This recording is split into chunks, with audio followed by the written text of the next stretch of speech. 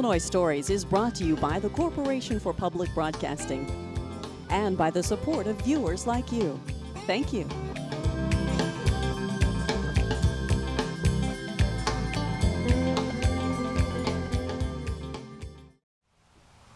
Hello, welcome to Illinois Stories. I'm Mark McDonald in Sherman at the Flagg Farmstead. You know, back in 1871, when this house was built, there wasn't much out here. Uh, there was a frame house where the Flagg family lived while they were building this house, but other than that, this was a lot of farm country. Now this part of Sherman is surrounded by new subdivisions. And Doug and Rose Polite, you've, you've taken on this this piece of history. yeah. uh, bought it, uh, I guess, about six years ago now. 2005. And yeah. uh, and now it's a bed and breakfast, and, Mm-hmm. and you and your wife live here. Right. What's it like living in a in a in a home that's actually sort of a landmark for this area?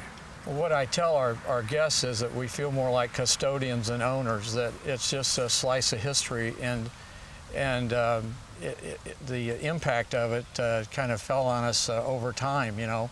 Uh, we didn't find out till uh, we were here several years that this was the old stagecoach road from Springfield to Peoria. Um, three attorneys knocked on our back door one day and, and told us that this used to be part of Mr. Lincoln's law circuit that he used to ride. Yeah, yeah. Uh, so we knew we had a Lincoln connection um, when we bought the property, but we just didn't know how much of a Lincoln connection we really had. Mm-hmm, In, in fact, one of your rooms is called the Lincoln the Lincoln bedroom, and it looks out on the road that would have been his exactly, uh, the circuit road. exactly, exactly, and we and, and we named it in honor of Mr. Lincoln. We're, we're going to learn more about the Flagg family who built this later on in the program, but Mm-hmm. first let's take a real good look at this place. Okay. What do you know about the design and architecture of this house? Well, it's called an asymmetrical Italianate uh, style home. Um, the size of the windows, the, the uh, little oval windows under the roof line, the corbels under the roof line uh, are all uh, characteristic of Italianate style. Um, it had uh, originally had a very formal front porch and a, and a formal uh, side porch here to the south and two matching back porches. Um, those have been modified uh, by the Flaggs and uh, they made it into a wraparound porch in the uh, somewhere between 1930s and 1950s.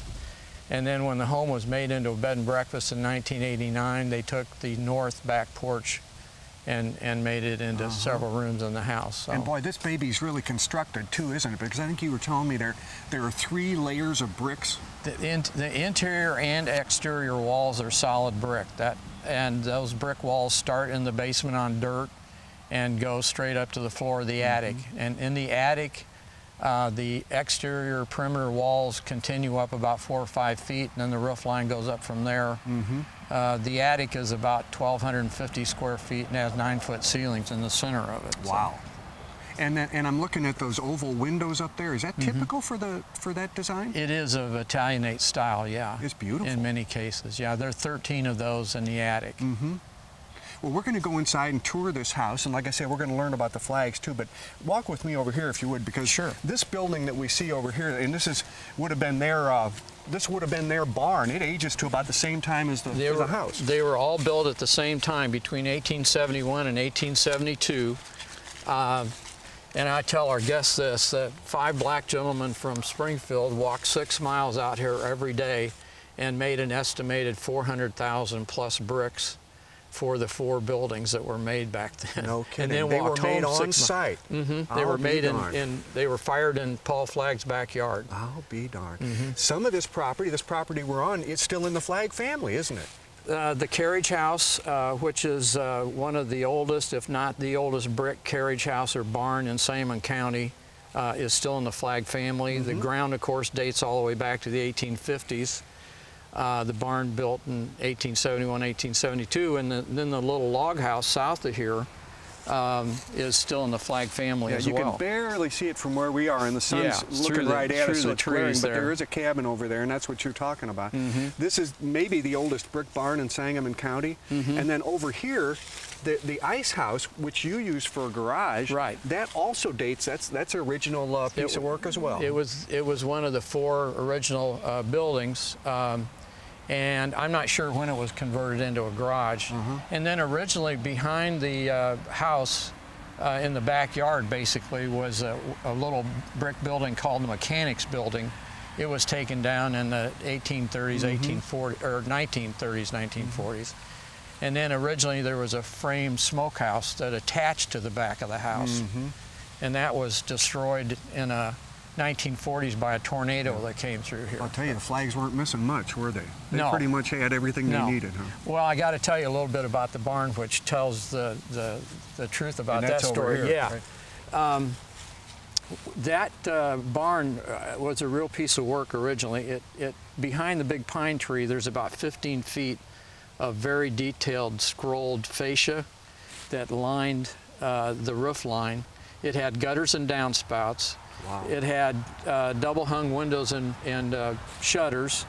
Uh, it has an operating well inside of it, Uh-huh. uh, so you didn't have to go outside in the Mm-hmm. winter for water. So it was it was uh, really nice It for its time. Yeah, It was outfitted. Yeah. Well, listen, speaking of nice for its time, let's go into your house, into Okay. your B&B, because this is a, a tour I want to get. Sure.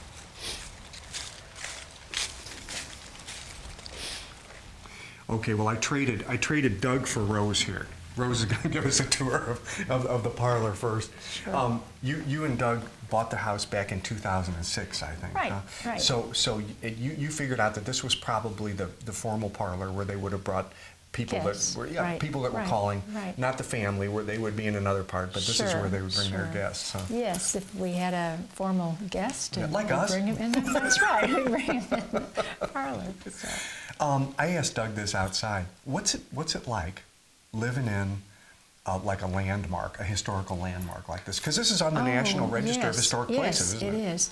Well, we feel like we're caretakers, you know, really, of the property, and we both like history so much Mm-hmm. that um, it's really been a joy to do it. Mm-hmm. Um, it's a lot of work, of course, but it's really been it's been fun because we've got to, a chance to look back at the history of the house. You, you, you know, you don't have a lot of original furnishings in here, but what I like, I like about this room is um, you have the Flagg family piano yes, in here. we That's right behind you. Can we, take a look at that? Yes, yes, yes.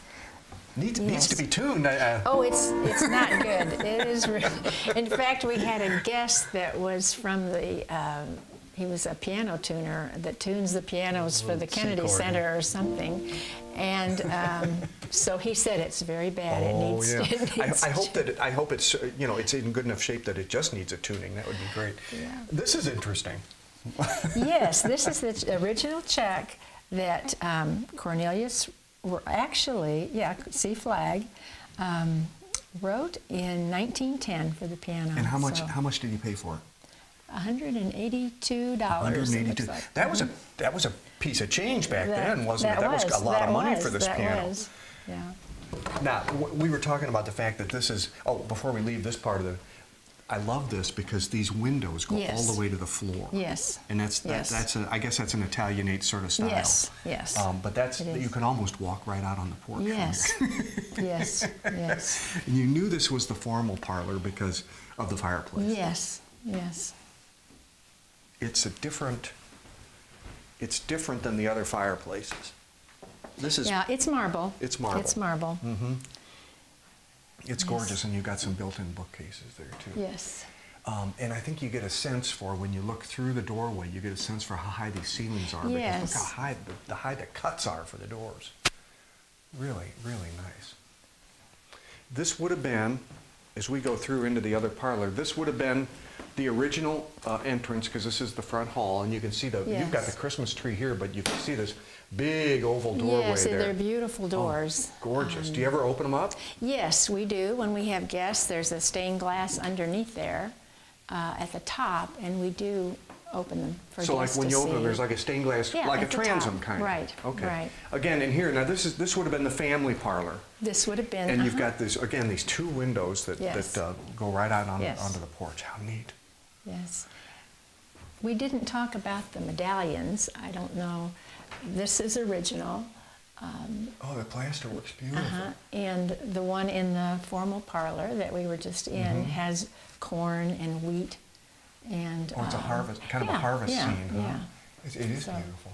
And, and those were here. Those were. Those were here, those are original. Yeah. Mhm. We mentioned, you know, the fireplace in there. Oh, th- this house is full of fireplaces because Yes. that was their source of heat, Yes, of course. Yes. they burned coal in here, didn't they? Yes, Um, and this is this is iron. iron. You can tell that this is not marble; it's Mm-hmm. Right, iron. right, And then what right. you've done, or, or, or your predecessors in this house have, have painted. They've painted, faux painted over. yeah. It looks terrific. But it does, it Yeah. looks, And then, of course, you would have had your guests later on in the evening, probably into the dining room. yes. And uh, this is, there, there, there's not a whole lot real noteworthy in here, except I find it interesting that they had a door from the back porch into the dining room. Yes, this house has many doors, It as does. you've seen, but um, yes. Um, and with the transept, probably for air circulation and, I don't know, they could get a fast getaway, Mm-hmm. Yeah, maybe. fast getaway. The meal wasn't that good. yeah, that's possible, that's possible. Um, and then, of course, you had a built-in china Yes. cabinet over here, which is really, uh, Mrs. Flagg probably loved that. And then again in here, we've got uh, this, is that the iron again? Is that, Well, hard to tell what that is. it's hard to tell. Um, It's not marble, It's not marble. Mm-mm. but it, It's, uh, um, I have always thought this was just like the one in the other parlor, um, the iron, but um, nice painting job. we didn't do that. That was that was there. Mm-hmm. And, and this so- is nice because right here we get a we get a look at um, this this magnificent stairway, and we're going to get a better Right. look at that as we as we go up. But you can see here that uh, that that walnut is just gorgeous. Yes, it is. It is. Arose the victuals that would have been served in the dining room, of course, would have been prepared Sure. in the kitchen. Yes. And you're kind of fortunate because this kitchen has been changed a lot, but it hasn't been altered fundamentally. It's still Right, basically the same shape and everything. Right, right, right. They had a big kitchen. I guess for back then, Mm-hmm, yes, yes. They probably maybe had a table here in the middle instead of the island, but Right, right. But I'm sure that this is where they, th- this would have been a table where they prepared their food Mm-hmm. Yes. and now, you know, you use it for the same Sure, thing, I guess, sure. you? Um, they cooked, oh, this has been added, these bricks have been Yes, added. Yes, those were added in the 60s, Mm-hmm. and um, but the cook, the original cook stove was there because the chimney's right there in back of it. So that's where the original Mm-hmm. Yeah, cook stove would yeah. have been. So that yeah. works really good for you guys Yeah. because, because Yeah. you, you've got the Yeah. chimney there. And, it- and the sink was here. The sink was there in a different form. Yeah, yeah, it looks, it looks better now. They they wouldn't have envisioned anything like this, but, but the cistern and the well are right outside. Yes, right so- outside, So this is where the water yes, came in. yes. Interesting thing about this kitchen on the back of the house, um, you have a lot of windows in here now, Right, but oddly, right. you had, they had a lot of doors here. Those oh windows, gosh! those doors yes, have been turned yes, into windows. Yes, there were six doors in here. Well, that one over there came in yes, from the porch. Yes. Um, and then you also have one on the back that yes. you that is still there that you don't use. Right. This door to my over right, here, that went outside, I guess. Yes, yes. There was a back porch, just like the one on the right here. There was Mm-hmm. a back porch on this side to match that side. I see. Mm-hmm. And they had a setup down in the basement for cooking as well. That's right. That's right. Large fireplace with that you hung the big pot on, and, and you could cook. Mm-hmm. I guess if it Yeah. was too hot to cook in the house, yes, they could go down there to be a little cooler. anyway. Right, right. Interesting. No air conditioning back then. Mm, Oh gosh, you know we we got so it, it's become a necessity Right. now for us. Oh, but gosh. They, were, they, they, they had a lot of airflow. They concentrated on yes. that, didn't With the doors and the transepts above the doors, and so Mm-hmm. Yeah. yeah, yeah. Well, okay, Doug, we're, we're looking at the man who was responsible for where you now live. Correct. Cor- Cornelius uh, footed the bill for this house. Probably had something to do with designing it, I would think as well. Don't you think so? Um, I'm sure he helped in the architectural selection, sure. He um, he was he had to be a wealthy man. He was a, a very prominent businessman, and I consider him to be an aggressive businessman. He was a risk taker, as they said, um, and um, did very well for himself. We've got a, one of his old uh, statements here, or, or part of his business stationery, I guess. You can see C Flagg Manufacturer of Lumber. He happened to be manufacturing lumber when there was a great need for railroad ties. Correct. Because they were building the railroads through, well, through the whole country, but particularly through this part of Through the country. this area. Yeah. Yeah, he and three other gentlemen, Mr. Sherman, the village is named after, uh, Mr. Hickok, and, and Joe Ledley, who's now a prominent figure in the uh, new surveying museum downtown. uh, and Mr. Flagg were the four gentlemen that brought the railroads through this area. And Mr. Flagg supplied the wood not just for the railroad ties, but any wood needs that the railroad companies had back then. Um, and I, I don't know if I mentioned, but he, he did serve 11 different railroad companies back Wow. then. So, wow. Okay. yeah. So that explains the fortune. Yeah, at a, at a penny and a half a, a foot per railroad tie. Mm. So, Wow. I, I love these old pictures. You've got here one here from the 1950s, and it gives us a chance to see how much Sherman has changed. These are the buildings that we saw outside with you earlier in the program. The, the house is here, of course, and the ice house is here, and the brick barn is here. And as you look behind, there's nothing else. no, he had 300 acres, and it all, by the time it was sold in 1968, it all laid behind Mm-hmm. uh, the house, east of the house. wow. I mean, and, and this And is it goes all, almost all the way back probably to where the village is now. that, and that's rich farmland. And he, like you said, he had 800 acres at one time. He had so- 800 acres in this area at one time, including the 300 he had here. And and this is great too because just down the road, if you take, you're on Old Tipton School Road here. Mm-hmm. If you take Old Tipton down to the Sangamon River, which is a very, very short trip, About four blocks. you would have seen this mill in Mm-hmm. operation down there. I never knew there was a mill there. It's uh, the Carpenter Mill, and it's part of the Carpenter family's uh, uh, property. Um, there's, to my knowledge, there's still a little building, and I'm not sure which one, uh, that's part of the uh, pro shop at the rail. If you go there, you'll see that little pink Right, brick. right, the old- yeah. That's part of the. I don't, it's not their home, I don't think, Uh-huh. but it's part of the Carpenter. Part of the operation. And their their home back then was called the Six Mile House because it was open to travelers, and we know that Mr. Lincoln stayed there uh, as he traveled back and forth. Uh -huh. um, And this house, okay, let's take a look, another look at this house from, oh, this is the early 1900s. These are uh, some of the Flaggs. This is, the, the man is the son. Alley Corn- Flagg, the Alley Flagg is the son. son of Cornelius. And his wife, and of course their kids. And you can see what the toys they provided them in the yard were these, these mock animals that the kids are Those are on. actually iron yard art. Oh, they are. Yeah. They're iron. Mm-hmm. Wow. Yeah. The family never did anything halfway, did they? No, they didn't. Now, this home was built um, by a man named Bet- Bettinghouse? Bettinghouse. Bettinghouse. And we've got a picture of his Springfield business here, too. Right. Um, this would have been, uh, oh, he's one of these gentlemen in here, but you can see this is his uh, carpenter and builder, and this was in Springfield. His operation was in Springfield. Yeah. And he had quite a reputation, I guess. he built this home, and, and as the, the readings go, several other uh, very nice homes in the Springfield area. Mm-hmm. And you can attest to the fact that the, when, when he built something, it stayed. It- yes, um, I've been told by, uh, uh, well, actually, one of our guests that the bricks, the way they were made, are likely to be here for a long, long time. Mm-hmm, mm-hmm. So, And here's a picture of Bettinghouse here. This, this is uh, Henry, the Henry, the, cons- mm-hmm. the construction uh, guy, and this is his son over here. George, yeah. Yeah. Interesting, interesting, interesting. Well, thank you so much. I think we have one more. Um, I know we have one more stop to make. We're going to go up in the attic, which you have cleaned out for us, right? Yes, And we're going to got permission to see. from your wife. Yes. And, and one or two of the bedrooms. uh, Correct. so we can see what you've done upstairs. Yes, okay. Terrific. Good. Well, Doug, on our way up these stairs, we've got to these these beautiful winding staircase, all the way up to the attic. We've got to Mm-hmm. Right. mention this walnut woodwork, Right. The handrail's walnut Oh. and, and the balusters are oak. And it's and actually when you got the house, it was in really good shape, wasn't it? We haven't done a thing to uh, the staircase or the floors or anything, really. You're so fortunate, and I love the way this chandelier hangs clear from the third floor all the way down to the front hall. That's Yeah. that's a piece of work there. It really is. Okay, so Doug, here on the second floor, you have five, five bedrooms, Right. Mm-hmm. right?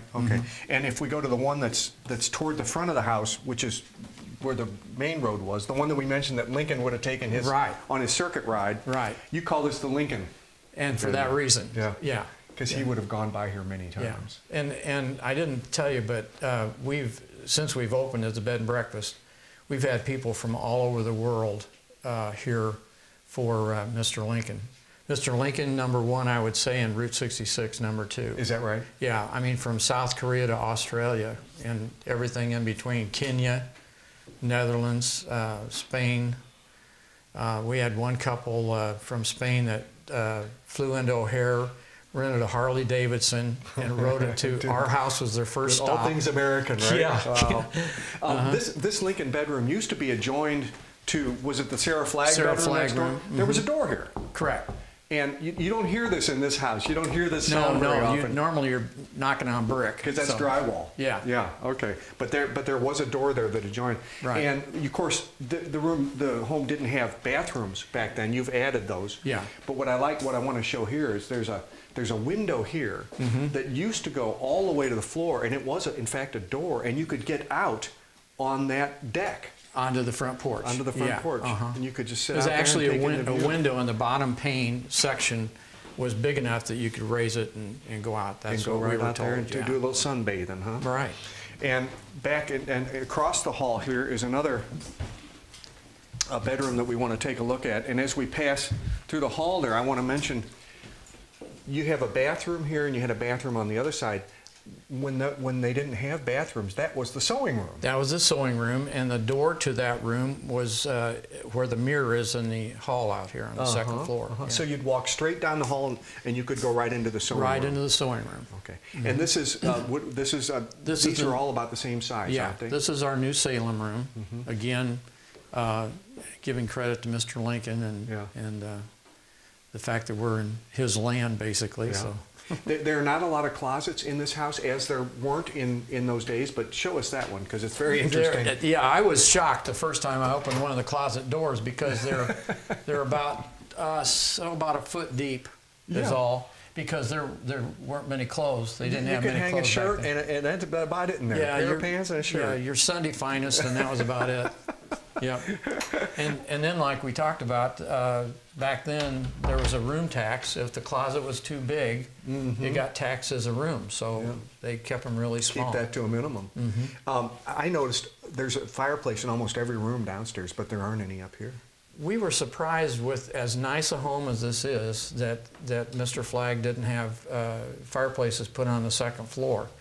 Uh, and as the the Flaggs have told me that in this room that we're in, uh, you could freeze water in the winter. so you really had to get prepared to go to bed. Yeah, you had right. a hot brick or That's something. right. That's that right. And, and dress in layers Yeah, because exactly. you're going to need it. Exactly. Well, Doug, we'll get to the back of the house, and you literally step down, don't you, in class when you get really back there? do. As I told one of our guests one day, that it's not only a physical step down, it's a social step down as well. And and why is that? Well, this door separates the the uh, house, the formal part of the house, uh, from the, what I call the informal part of the Mm-hmm. house. And this is where the farmhands stayed. That's why we call it the Oh. farmhands roost. Um, but uh, you, yeah, you step down and the woodwork gets smaller. Uh, this door is actually thinner than the other doors in the Uh-huh. house. Um, Yeah. So it's just kind of amazing. Well, uh, you know, look at the, the ceiling. Ceiling's no crown molding. Yeah. I mean, it's just it's Yeah. it's basic Pretty- stuff. Pretty simple. I would have thought I would have thought, it, it, not knowing anything about this family, that this would have been the servants' quarters, but actually, this is where the far, the farmhand Yeah. would, would stay. Here. From what we can tell from the pictures, uh, like here on the wall, uh, he had probably four or five farmhands uh, at any one point in time. Mm-hmm. yeah, and they might have all slept in here. Oh, they would have. Yeah, I mean, they all, this was it. This bunk. Either this, or is the you outhouse. I mean, and, and, and they're they were lucky to have this. A lot of guys probably stayed in out, outside in a shed or something Yeah. where there was no heater. yeah, that's right. Huh, very interesting. Yeah, and this this wall was added when it was made into a bed and breakfast. This this wall was put in. This room normally would have gone from those windows to the windows in the bathroom. Uh, Oh, I and see. It, it's roughly the size of the kitchen. And that was done to make another bathroom. Yeah. Yeah. Mm-hmm. So this sits really right on top of the kitchen downstairs. Mm-hmm. Doug, it's almost it's almost dizzying to go up and down these steps Yeah. with this winding stairway. I love it though. Uh, at the very top, you get rewarded because you've got a big attic up here, and you got some plans, don't you? I really do. It's uh, it's roughly 1,250 square feet uh, with nine foot ceilings here in the center, and um, uh, I tickled that at Patty Doyle's once again. Uh, I was lucky enough. I didn't want just any pool table. If I could get an old table. one, Yeah. uh, lucky enough to find a, uh, an 1890 Oh, Brunswick, Balke Collender, uh, full-size pool table. And then the other day I was in there, and that billiard light lamp was uh, sitting right inside the door. Ideal. So I was lucky enough to find it. Ideal. Um, and I'm just starting to do the, the walls to cover the insulation. So Yep. But and then the- this will be a place for your guests. They can come up here. There will be a little kitchenette here. There will be like a theater room here where they can Right. Mm-hmm. watch some movies or something. You'll have a, a, a sort of a, an eating, a, a stand-up eating bar here. Well, I'm going to call this a conversation area. Um, there's going to be a bar here that covers these pipes, Mm-hmm. and uh, uh, there's a black walnut tree that we took down, and I got 90 feet of black walnut Mm-hmm. out of it, and I'm going to have a black walnut uh, bar top. You, you and Mr. Flagg had that in common anyway. You like that walnut. Yeah, I, I couldn't I couldn't bear to burn it or throw it away. So So, so things are changing here at the at the uh, Flagg Farmstead. The Polites welcome people from in the, around the area who are curious about this old home and who want to visit about it and maybe come in and see it. And of course, they're open for business as a B&B. With another Illinois story in Sherman, I'm Mark McDonald. Thanks for watching.